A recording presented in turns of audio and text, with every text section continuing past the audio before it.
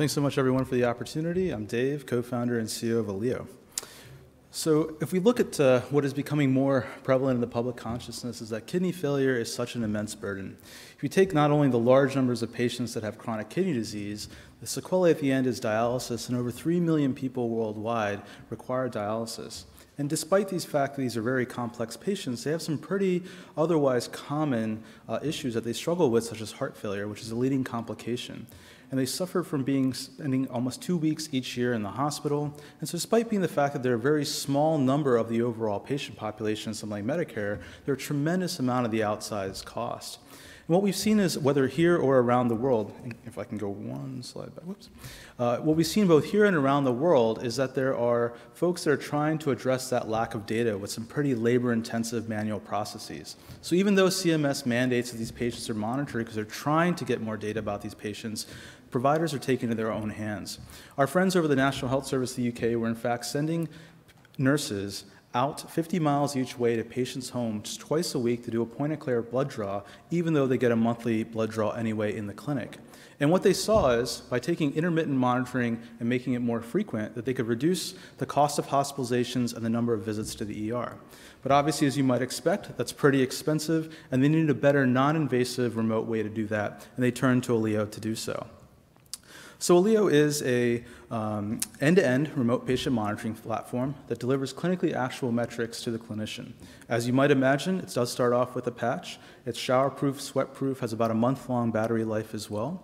The patient wears it throughout their whole day. They don't have to touch it, don't have to interact with it. Whenever they get within about 100 feet of a bedside hub, whether at their home, whether at the clinic, that data is automatically uploaded to the cloud where we run our series of proprietary algorithms on it, and we push it out into a clinically actionable alert that fits in seamlessly into the clinical workflow, really reducing the burden uh, for both the patient and the clinician at the end of the day. What underlies our technology and our ability to really push our capabilities is the fact that we do things a little bit differently. So there's 16 sensors, the big workhorse is the optical. But we have a patented way of not just looking at the capillary bed like most of the folks, whether in the commercial world or the clinical world as well, by effectively getting a 3D holographic image of the underlying vessel. And that gives us a really interesting advantage when it comes to making sure that A, we're zero calibration, that there's an AI backend that's continuing to learn on some of the hemodynamic parameters and blood metrics that we're able to get as well. What, once again, our capabilities continue to expand. As you might expect, we have your basic vitals, such as heart rate, temperature, SpO2, but also some of the key issues that these patients really struggle with. So, for example, I mentioned heart failure. So, 40% of dialysis patients are, heart, are hospitalized for heart failure in any given year, and we're able to monitor that through both what they do today in terms of the blood draw, so hemoglobin hematocrit, we're doing that continuously, and also blood pressure as well. If we look at their lifeline or their vascular access, has a very high risk of failure, high number of interventions, on average almost three a year per patient. We're looking at not just the volumetric blood flow, which is what clinicians are used to seeing about once a quarter right now, but also the ability to look at a blockage anywhere along the entire upper extremity. And last but not least, uh, what we've also done is start to get into biomolecules and other biomarkers as well. Uh, looking at something like potassium, we're about to, what will be public is we actually won a groundbreaking cardiovascular award that will be announced publicly next uh, week uh, for this, and it'll be really exciting in that Potassium can now be measured non-invasively at over greater than 91% specificity and sensitivity. And that's really important because everything that we do, we take the hospital grade to home. If we look at something like hemoglobin hematocrit, this is with patients getting a box delivered to their home, placing the patch themselves, and we're still doing better than any of the non-invasive uh, or even uh, finger sticks as well.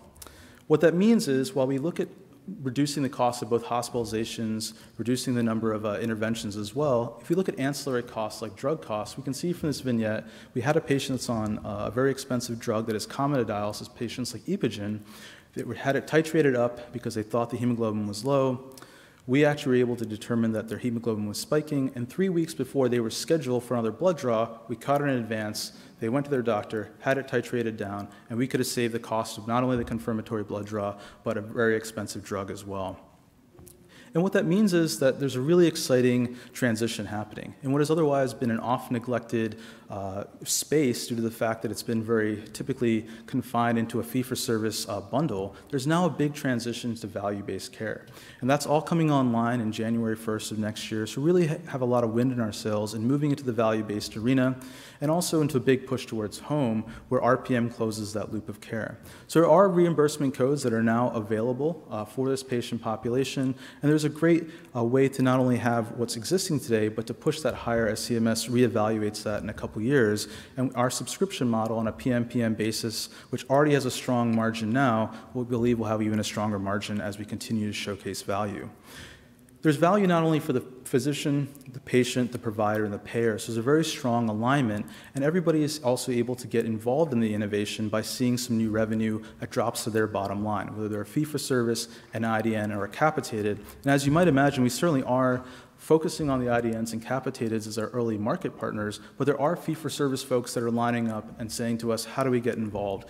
All of our partners have some skin in the game, whether that's direct investment or offsetting the cost of our clinical trials, and it has really created a very robust pipeline of about 120,000 patients in our partnership pipeline, which is a little over $150 million worth of revenue, and we need about a quarter of that to hit cash flow break even. So it's a really exciting opportunity uh, to move in. We're getting our, our partners are starting to introduce introduce us uh, to other health systems as well and pulling us horizontally into clear adjacencies like heart failure in the ICU, in addition to a current revenue generating contract uh, with the US military as well.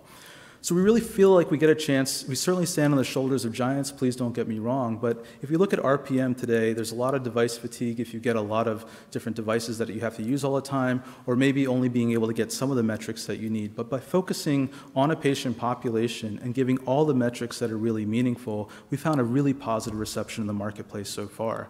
And that really provides an amazing launching pad to really get pulled into other areas of the cardiovascular world and continue to increase our opportunities. Helping all of this become commercial is an amazing team. Uh, we're a little over 25 people split between San Francisco and Boulder. Uh, quite a few startup exits uh, under the team's belt, and uh, really both from both high tech and med device folks. Our most recent addition uh, was a former uh, Deputy Secretary of Health and Human Services, just joined our board as well. So, really excited about how that can help us, some of the challenges that we'll certainly see over the next couple years, we can help tackle that.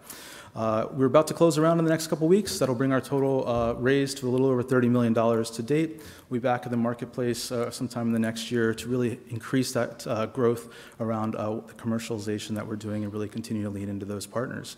So, very excited about the Alio story, uh, the ability to take world class wearables, generate clinically actionable data, and seamlessly integrate into the clinical workflow. So, excited to speak with all of you later today. So thanks so much again.